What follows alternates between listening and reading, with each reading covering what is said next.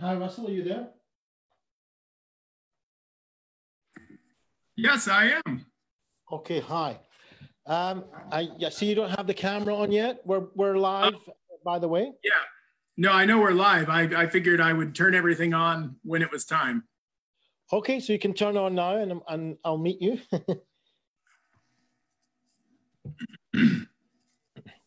oh, fantastic. Okay, so we're not, a fit, we're, we're, although we're live and people are kind of coming in, there's a bit of a delay.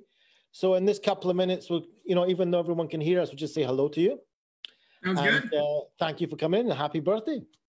Oh, thank you. It's nice Wonderful. to be in. Yeah. So um, I've got your book. I've seen your TED talk. So um, I'm kind of all excited to actually really meet you and uh, and have a chat and see uh, how much that you can in this short time. I know it's not a long time. It's a bit of a challenge even um, to see if you can give over to the people that are going to be watching this um, from your wisdom and see how we can get through this from your point of view. That sound all right to you? It sounds great. Sounds great. This is the first time we've met face to face, isn't it? Well, this is the first time we've met face to face. And uh, yeah, it's really great. I'm, I'm part of the ACBS community. And, uh, you know, so I'm, I, I've heard about you through that as well.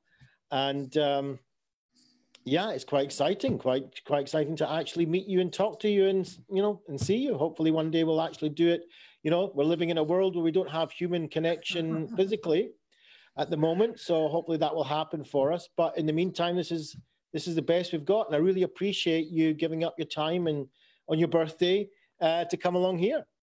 Oh, no problem. It's an honor to be asked. You know, one of the unexpected uh, side benefits of the the physical social distancing thing has been I've been uh, actually spending a fair bit of time connecting with people uh, all around the world like this, you know, and yeah. people, I often, uh, we don't have time to do that.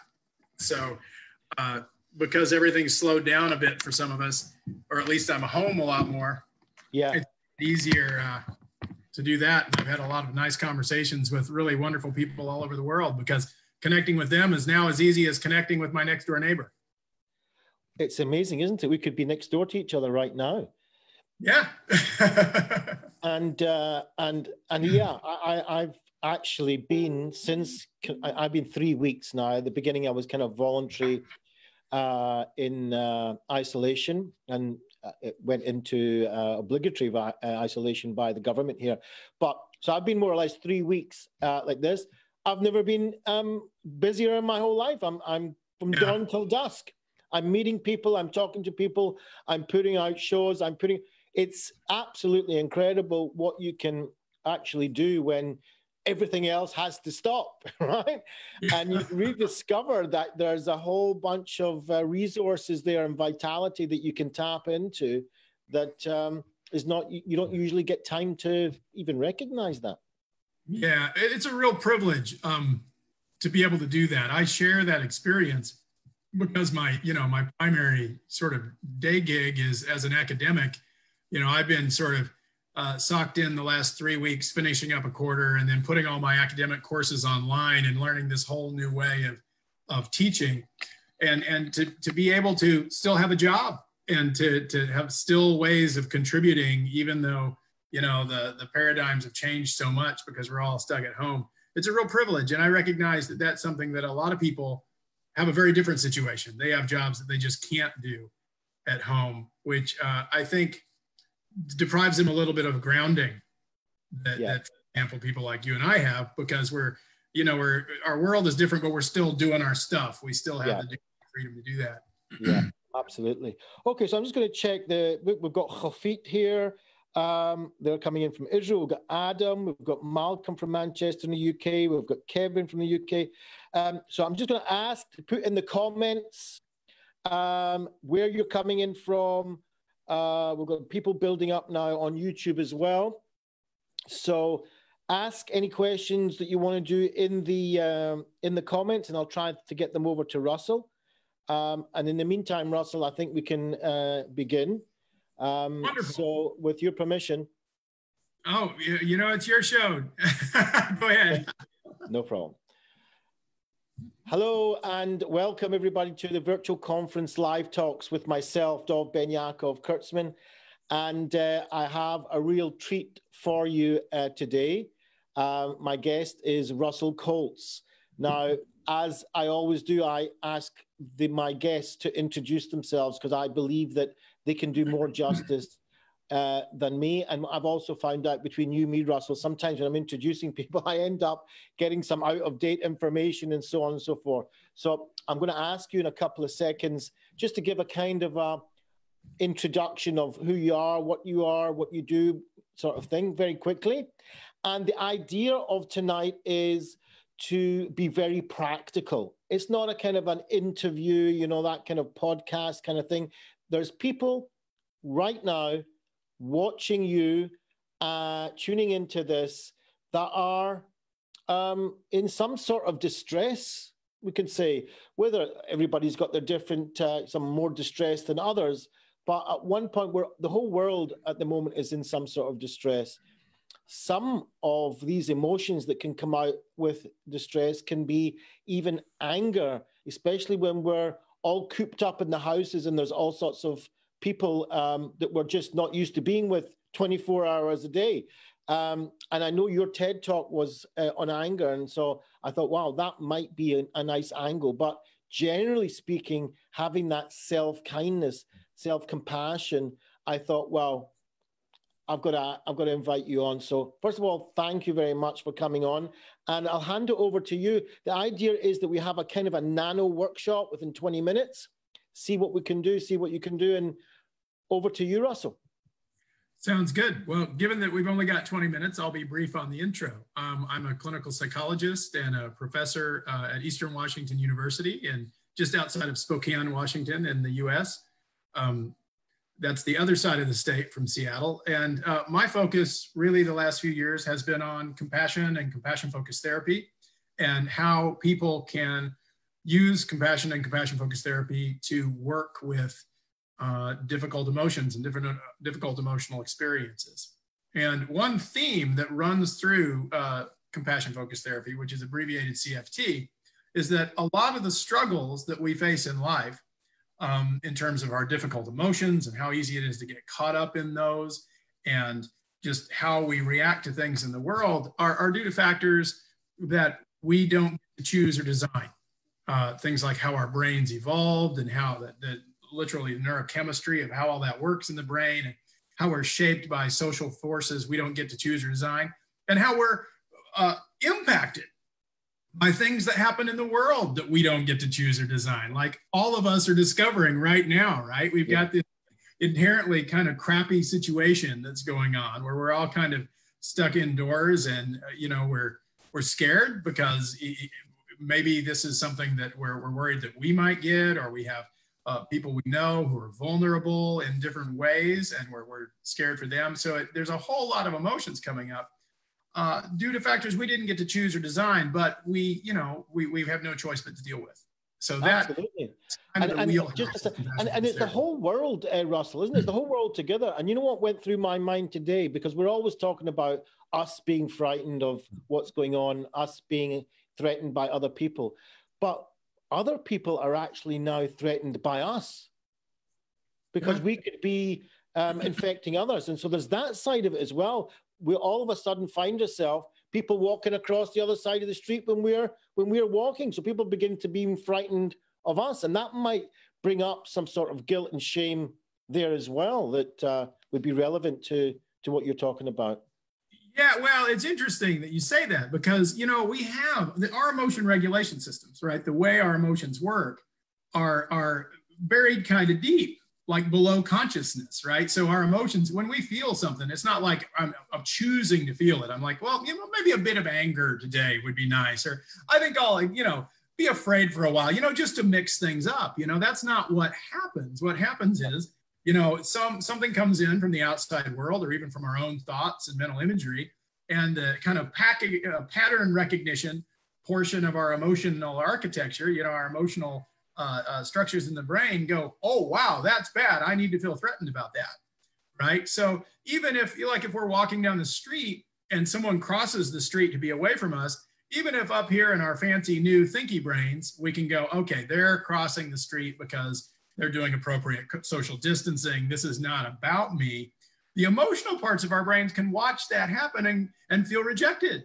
Right. Right. So like, oh, they don't want to be near me. And that can hurt, even though like objectively we know what that's about. And so that's just an example of kind of the tricky interplay between our emotion regulation systems and our uh, thinking and reasoning centers that we talk about in CFT all the time. That we can form those loops. So if we can develop this voice in our head, this kind of comforting, compassionate voice that says, hey, this is not about you. They, they're taking care of themselves. And actually, by crossing the street, they're taking care of you too, just in case they might have it. They're taking yeah. efforts to make sure you don't.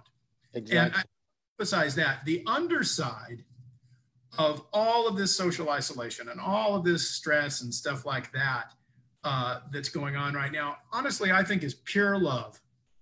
Because a lot of the people in the world don't fall into vulnerable categories. Right. They're socially isolating to protect the people who are vulnerable.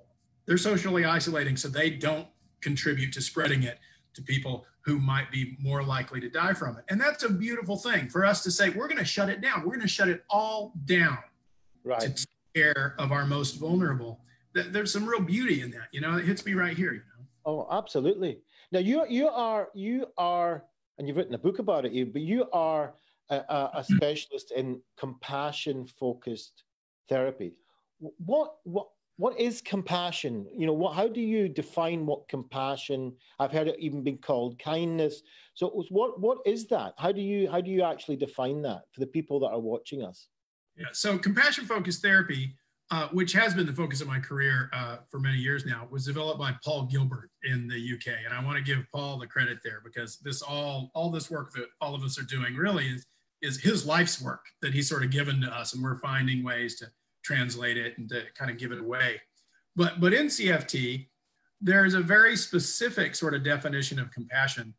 And it's actually consistent with the, diction, the dictionary definition or what you'd hear from the Dalai Lama, but it is different from uh, a lot of the ideas people have about compassion. So, uh, for example, uh, if I'm working with angry men, which I do not infrequently, and I ask them when compassion comes up, what do you think of that? They'll often say, well, it means being soft or weak or nice all the time or giving everyone everything they want, that kind of stuff. And you know, one of the fundamental uh, pieces that that we talk about is that actually compassion is very different from that. Compassion about what we do when suffering and struggle shows up. So if we look at what's happening in the world right now, I mean, those of us who been practicing compassion it, you know, it's, it's tricky for us too, and it's difficult for us too. But at the same time, it, there has to be the recognition that this is what I've been training for. This is the moment, you know, right. because compassion really. I win, right? yeah, it, it's compassion is really about being sensitive to suffering in others and in ourselves, being able to recognize when difficulty and struggle and suffering goes up and go, wow, look at what's happening. That's really hard. That's really tough. And to be moved by it and then to allow that experience of being moved, of noticing and being sensitive to the suffering, to give rise to a motivation to help, right? To, to yeah. step up and say, what can I do to address this suffering? What can I do to prevent it getting worse, right? Which is why you're doing these virtual conferences and why, you know, people all over the planet are doing things they don't need to do in, in the effort to help others because we see the suffering and, and as you say we're all going through this up the same thing and we share it and we can recognize that and that gives rise to this question of what could I do that would be helpful? Right? When you say we're moved by it, what, what is, does that mean empathy? Is that what you're talking about? Or is it something more than that or plus something? I would say moved, uh, to put a word on it, is a little more like sympathy. It's a little bit of heartbreak. You know, it's like you see the suffering and it's like, ooh, that, that would be hard. Or if we're seeing it in ourselves to recognize, oh, that is hard. That feels really uncomfortable. Right. right? So empathy is more kind of understanding what someone's feeling. Sympathy is like feeling something in relation to that. Right. And so empathy is about understanding where the sympathy is more motivational. It's like, oh yeah, that I, I share a little bit of that heartbreak and that motivates me to want to help. Right. Okay.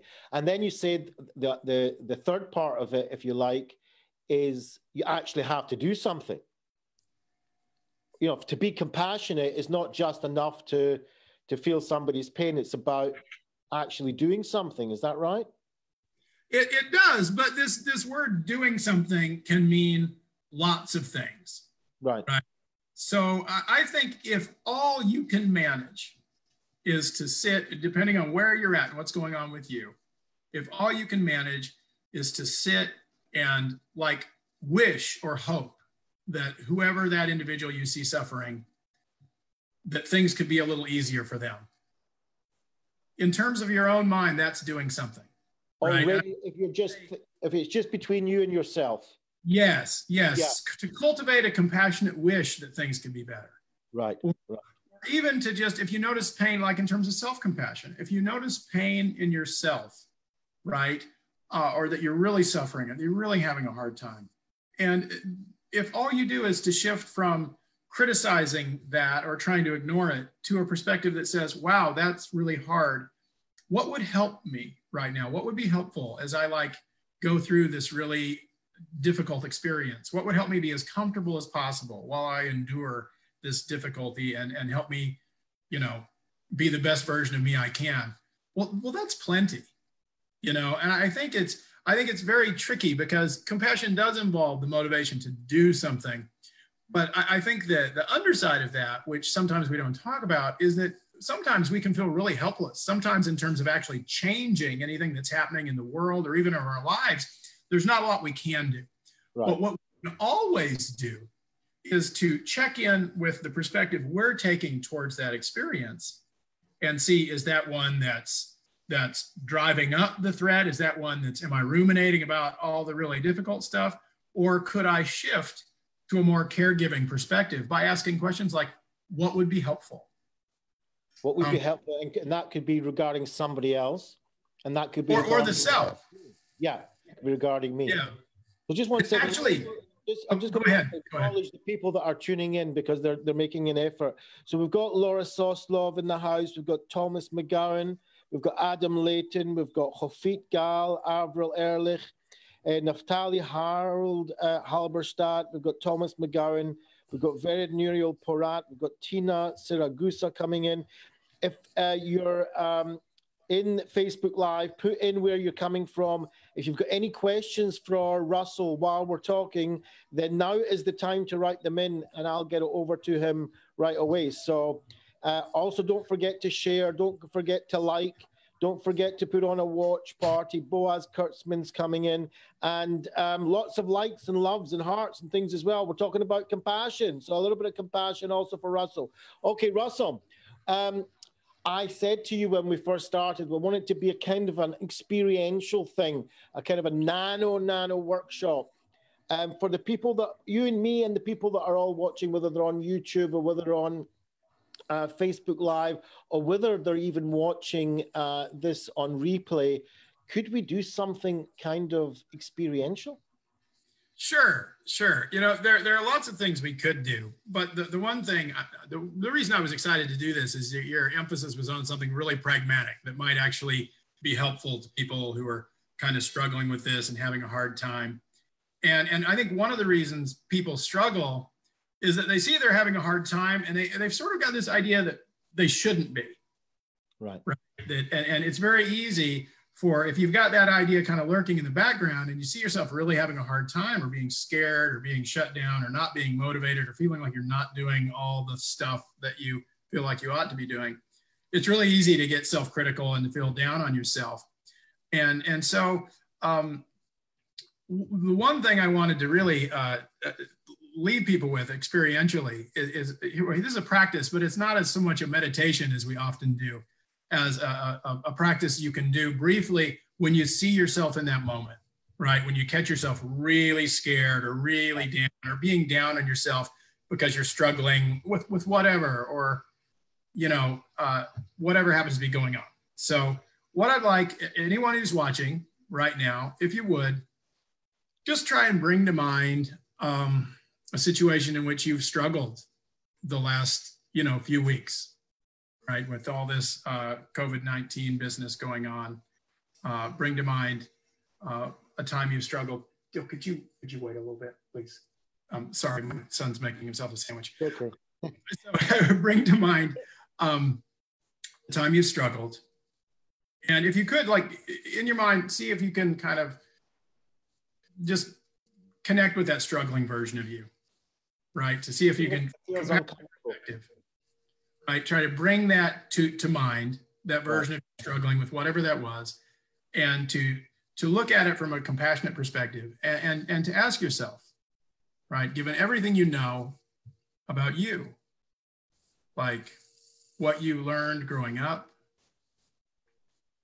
uh, all the things that have happened to you in your life, all the things you learned and didn't learn, what you know about your emotions and how they play out in you.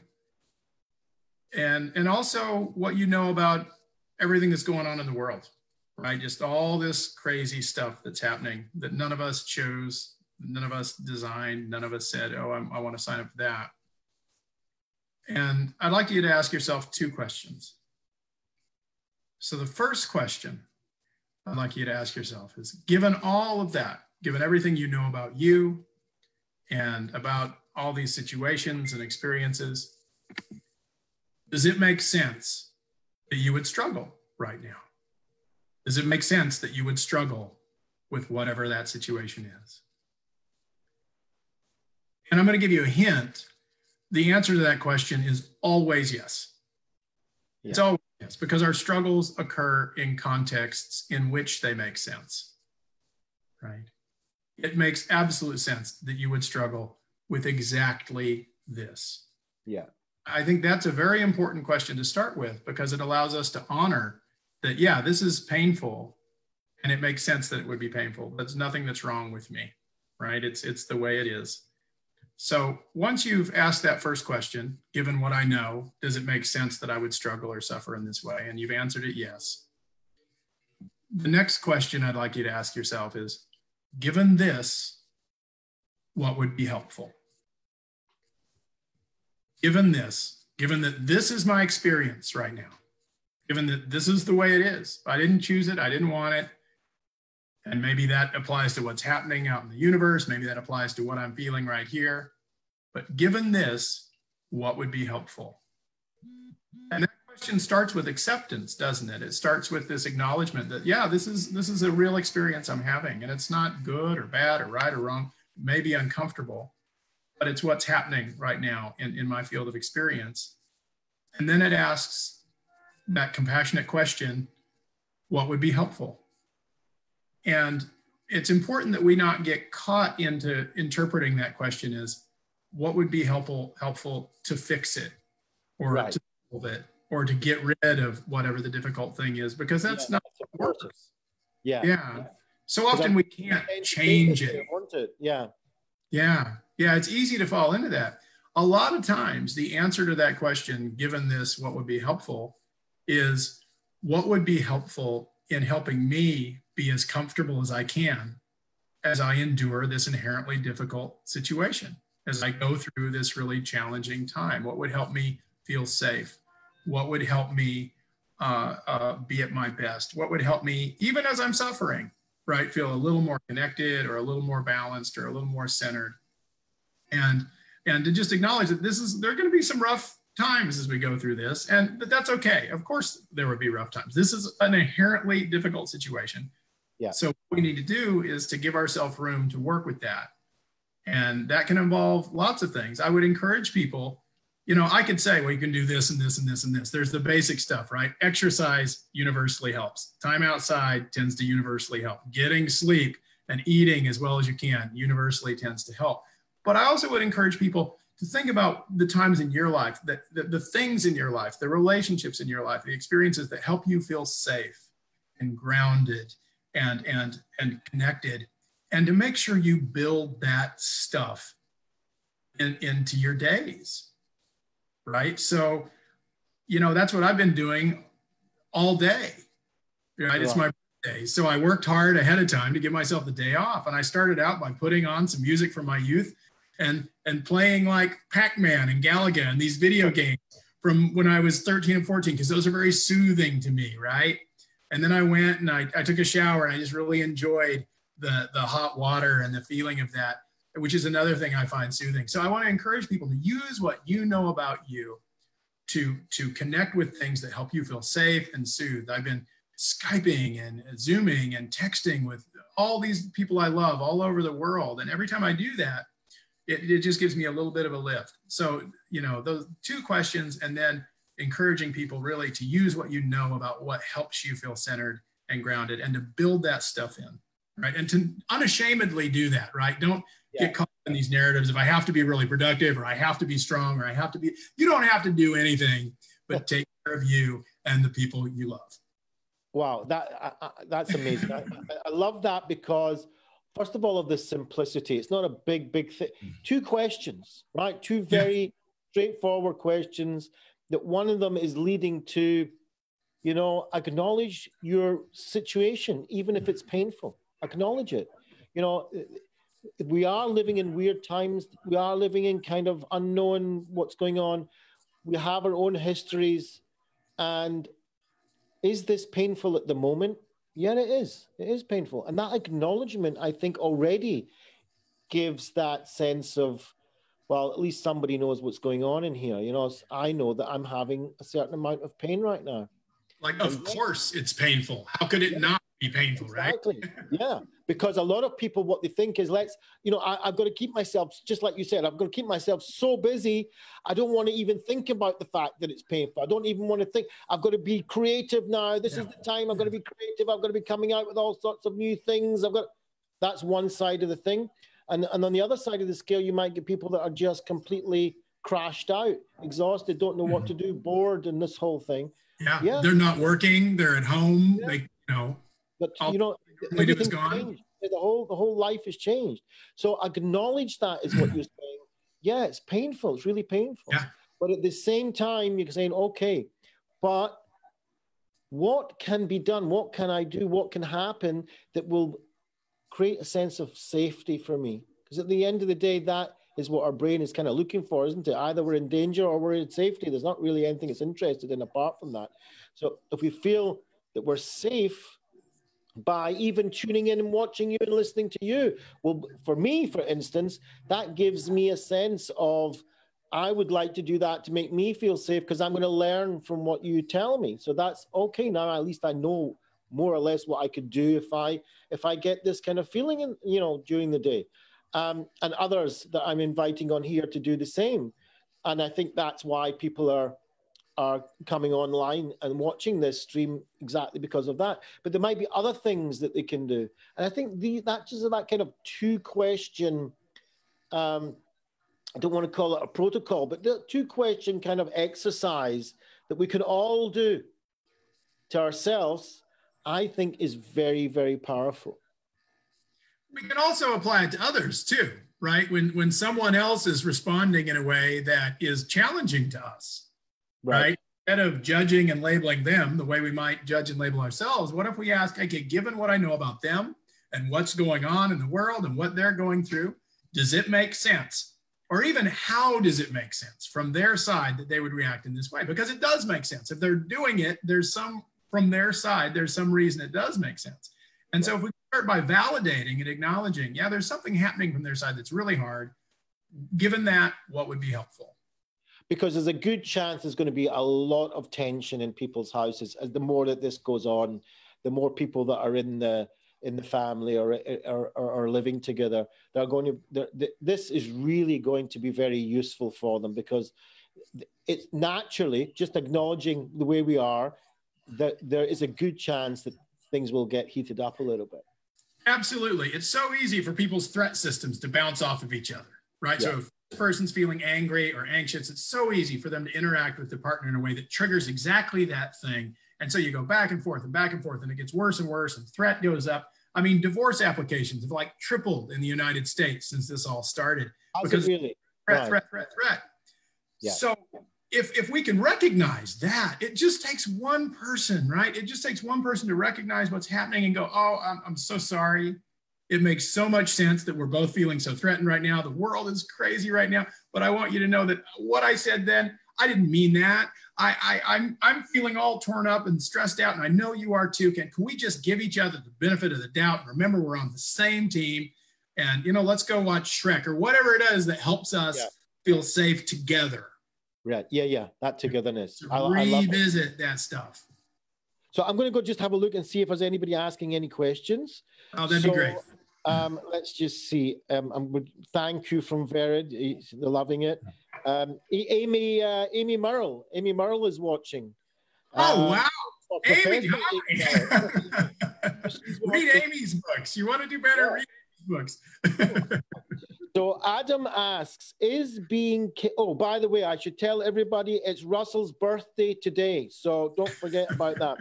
Um, is being caring about people who I may not be able to offer anything, not possibly overwhelming. In other words, if I limit my compassion to those I may be able to help, wouldn't that be easier?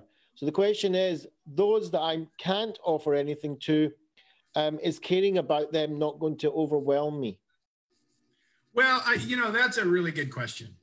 Um, because, and that's that's one of the reasons earlier when I emphasized do something, that it, it's important that we not think, oh, I must do something to change their experience. Because if we do uh, open our awareness to all this suffering that's out there in the world that I can't do anything about, um, it can be overwhelming, right? It can be overwhelming.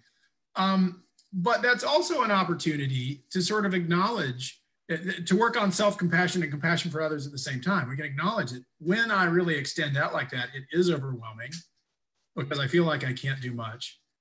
So, how do I help myself feel kind of safe while, while I allow myself to do that? And for me, one way of doing that uh, in terms of managing that is saying, well, maybe I can't do anything to change that, but maybe I can try and put something good out into the world uh, that could eventually filter out in that direction. So, for example, if I can afford to make a donation to a group that's trying to do something for vulnerable people, or if I can even, you know, throw a, a kind message out on social media to let people uh, people know. So I, I, think there's some real wisdom in that question, which says, would it be better to to uh, restrict my compassion down to the sphere of influence? I would suggest it's not about restricting, but choosing where we put our energy and attention to acknowledge that, gosh, there is a lot of suffering out there, and I, I do. If I ruminate on that, yeah. I, I feel overwhelmed by it. So instead of ruminating on it, I'll acknowledge it, and I'll acknowledge that it's painful and then, as the, the question really implies, I'm going to shift my focus to, to my sphere of influence. And how do I, uh, you know, help the people that I care about? How do I connect with them? How do I work with myself? But I don't think it's so much that you're purposefully not caring about those folks out there, but you're not ruminating about the stuff yeah. that you can affect. And instead, you're shifting your attention in a kind of skillfully compassionate way, asking the question, okay, given the connections I have and given the, the sphere of influence I have, what can be helpful? You know, I can't, I can't, there are a lot of people I can't help, but I can go on and do an interview on your show and maybe somebody watching that, uh, some, they'll get something useful from that. Yeah. And there'll be people that you don't necessarily know. And they'll be listening to this uh, today, tomorrow, the next day, and get something out of it. Yeah, I mean, this, and this is something that I could borrow from my acceptance commitment therapy colleagues, right? Which yeah. is accepting it's like acknowledging there's the stuff i can't affect that's the really difficult painful stuff let me bow to that accept it not acknowledge it and then say how do i move in a direction that feels important how do i move you know so it's not like i'm pretending that's not there. I'm not pushing anything away. I'm acknowledging it. And then i'm asking the question what could i do that would be meaningful meaningful? How could i engage in compassionate action that would benefit somebody? Yeah. And when we do that that benefits us too. So thank you, Adam, for that great question. I hope that answered it for you. Astrid is watching, Sharon's watching, Nancy's watching, Oshrat's watching, Norman Evans from Canada and Toronto's watching, um, Glenn Cohn is watching, um, Moran's watching, Powell is watching. Uh, where are you watching from? Give us an idea. Um, Norman Evans says, have walking meetings. I, I average over 10,000 steps a day listening to music, podcasts, and phone calls. Um, I love it. Fly by. Um, Amy says hi and uh, happy birthday, says Avril. Uh, Liat's watching, Lilach's watching, Khofit, Verid, Moran, they're all saying happy birthday. Norman says happy birthday. Um, Norman saying you, happy. Amy. Um, Adam says he loved the answer connecting to our values. That's great. Hmm. Um, Amy says, love this. Given the connections I have, what can I do to help? That's her question from Amy. Given, given the connections I have, what can I do to help? Absolutely. Like, how can I work within my sphere of influence, within my Yeah. connection? What can I do that's helpful? Yeah, And what happens is, great when- question. focus on that, right? When we focus on that, then the other stuff isn't so troubling. It's not like it goes away, but we're working skillfully with our attention to focus on what's helpful. Yeah. So these questions are really important to ask yourself with kindness and say, look, what can I do? What what is it? Even if it's a tiny little thing, and even if it's like you said way at the beginning, even if it's just having that intention to help, even if it's not actually, if it's within me to have an intention that I'd like to be able to offer somebody help, Yeah. and if it might even be in the form of charity, it might even be in the form of what you're doing now, and it might be even in the form of just going and doing a bit of shopping for somebody. Yeah. Or, or snuggling with your dog, right? Yeah, and feel a little more loved. Or playing a game with your child or you know uh, putting some seed out for birds Absolutely. And it, as Amy that. caring putting your hand over your heart and having some compassion for yourself and just feeling that touch and that, you know, that um, kindness that you can offer yourself sometimes when you can't help everybody. Absolutely. Well and that for those who are watching who aren't familiar with this area of self-compassion what it really comes down to is uh, orienting and relating towards yourself when you're struggling in the same way that you would relate to anyone that you really loved and cared about and wanted to help. So that's a good if, if someone else i knew that i really cared about was going through this how would i want to be there for them? And then think how could i offer some of that to me? That's self-compassion. So Verid is asking, I find it, uh, I find it um, sharing happy, happiness these days is considered being not compassionate. That oh, so, so she feels a certain amount of guilt if she can't be that compassionate. Okay, so she feels guilt because she can't feel the compassion or ex- can't express it. Um, I'm not quite sure, but she she finds it difficult when she wants to share happiness. Yeah, um, yeah. So so she's finding that guilt. I think a lot of people go through this, right? I, I think a lot of people, there are some of us, you know, I, I have to be honest, and, and I, I feel kind of bad saying this, honestly. I lean introvert. So for me to hunker down at home with all my, you know, I've got like 1,500 vinyl records and my books and all the stuff I like to do, that, that's not terribly stressful for me. But I've got extroverted friends who are literally, you know, almost banging off the walls of their house. They're just because the way they are in the world has completely changed, where for me it's been minimal. And I think it's easy to to feel really guilty about that, right? If if you're Right. getting you're happy or you're relatively privileged in the way that I am, you know, you get to keep working and your income's not really affected. It can be it can be easy to feel guilty about that or to feel like I shouldn't be happy or I shouldn't maybe share that happiness. And I think on one hand, I'd, I'd like to say, whatever you're feeling, right, allow that, right? And if you're happy, good for you. You know, if you can find some happiness and some ways to enjoy things to enjoy as we all go through this, that's wonderful. Give yourself permission to do that. And then in terms of relating compassionately to others, I, I think there's a real point there that the question is, is making, which is that sometimes if we've got someone who's really struggling, sharing with them how happy we are is probably not the best way to be compassionate, Yeah. right? Yeah. Uh, for that person, probably much better to say something like, you know, I, I see how hard this is for you and I'm so sorry. You know, I Right. wish there was Yeah. something I could do uh, that would be helpful. And very often, just letting them know in whatever way we can that they can receive that we care about them is like the most helpful thing we could do. Absolutely. I, I, I'm constantly giving an example of my next door neighbor. Um, and my next door neighbor, for every you know couple of days or so, calls me and asks me uh, if he can bring me some food, he can do some shopping for me, and so on. As it happens, I don't really need it, But what's more powerful than that is the fact that he's calling me, the fact that yeah. he's interested in me, the fact that he's I holding you in mind, thinking about me. It's it's an, it's an incredible thing. I find myself on my own, so I don't have anybody here with me, um, and I, you know I managed to get through that. It's okay, but knowing that there's somebody out there that's actually thinking about me, knowing if I need something, I could call him and and and he would be there for me. That is a real powerful um, has a real powerful effect on me more than the shopping or whatever it is that he would do for me.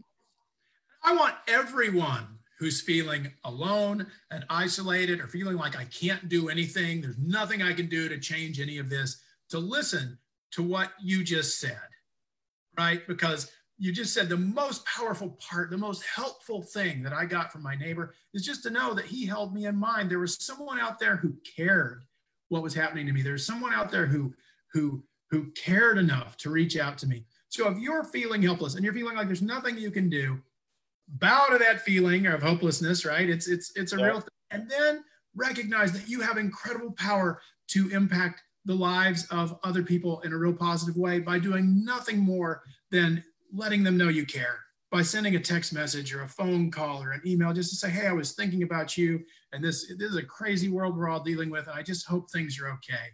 And, you know, just checking in and expressing caring, it can turn around someone's entire day. You know, it really oh, is. Yeah.